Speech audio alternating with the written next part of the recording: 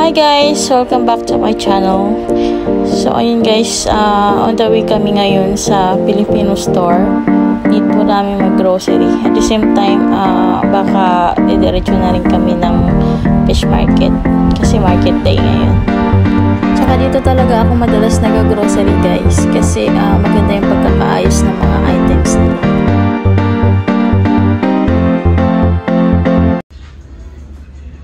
Hi guys, magandang hapon. Yan, andito pala kami ngayon sa may ano, Filipino supermarket. So yan guys, marami silang mga marami silang mga Filipino foods. Yan, parang nasa Pinas lang guys.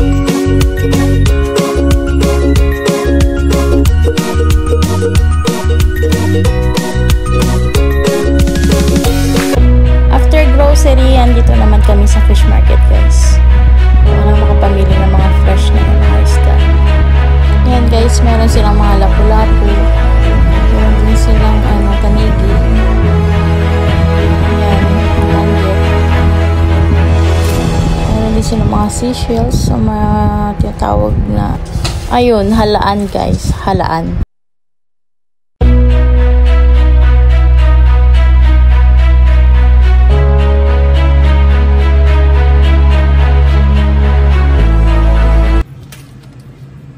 Ito na yung mga pinamili namin guys. Yan.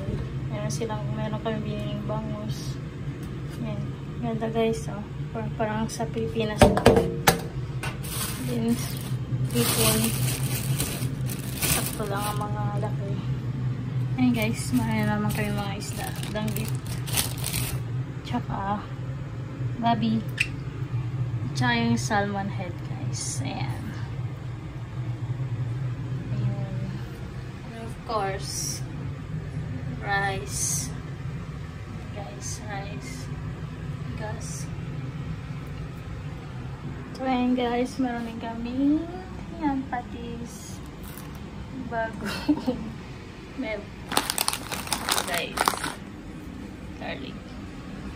Juice cranberry juice and yung brown bread.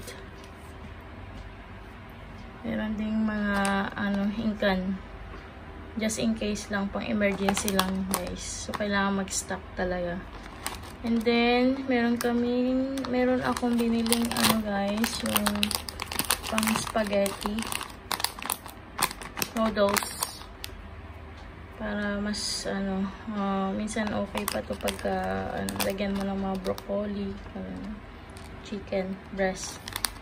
Kaya yan guys, may Pringles, Nescafe, saka yung seasoning. Yun lang guys, ang mga pinamili namin.